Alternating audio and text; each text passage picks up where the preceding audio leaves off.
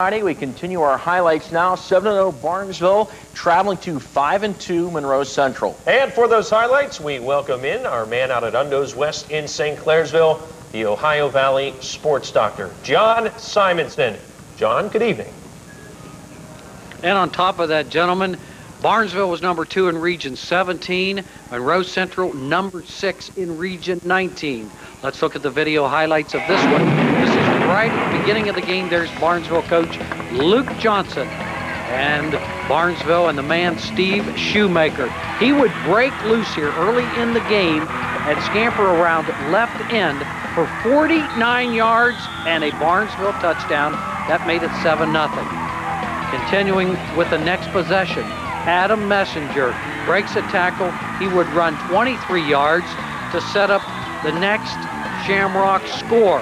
And getting the call, J.C. Miller from two yards away, 14 0 Barnesville after one. Now moving on to the second quarter. This is Cole Lewis of Monroe Central. Has time for a while to throw, but then it breaks down. Kyle Hallstrom with the sack.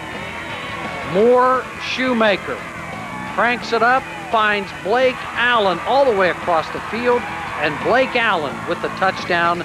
That makes it 20. Oh, this is the touchdown pass here. That set up Blake Allen. They come right back with him. 21 nothing as Shoemaker with back-to-back plays to Allen. We look at the score.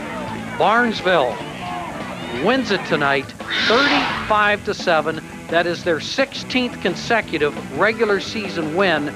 Meanwhile, Monroe Central has their five-game winning streak snapped. Now let's move